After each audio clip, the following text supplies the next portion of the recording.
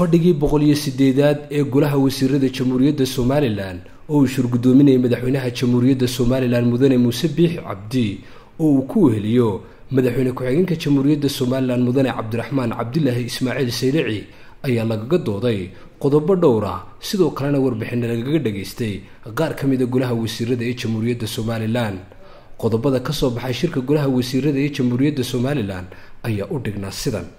Kow bishii disembar ee sannadkii hore ee laba kun iyo labaiyo labaatan maalmihii lix iyo labaatanaad toddobiyo labaatanaad iyo siddeed iyo labaatanaad.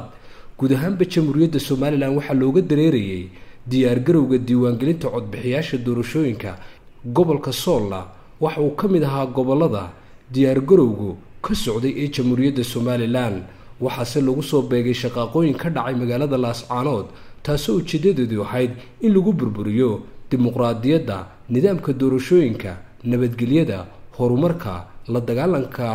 argagixisada iyo la dagaalanka budhcadbadeeda oo ay somalilan caan ku tahay taas oo ay somalilan markhaati uga yihiin beesha caalamku in xeebaha somalilan marnaba aanay ka dhicin faladh budhcadbadeed qodobka labaad ee ka soo baxay shirka golaha wasiirada ee somalilan ayaa lagu yidhi in gobolka sool gaar ahaan magaalada laascaanood ay ka baxaan ciidamada huwanta ah ee ka soo tallaabay xuduudaha caalamiga ah ee jamhuuriyadda somalilan ay leedahay sida kuwa maamul goboleedka soomaaliyeed ee puntland ciidamada kala duwan ee dowladuhu ay u soo tababareen dowladda federaalk soomaaliya iyo kuwo ka yimid dowlad deegaanka soomaalida etoobiya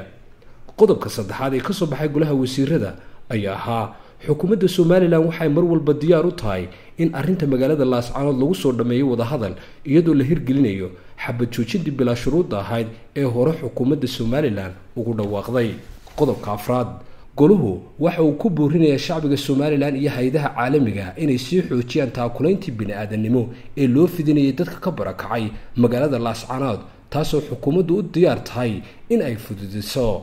Wixii gargaar bini-aadannimo ah ee dadka la gaadhsiinayo.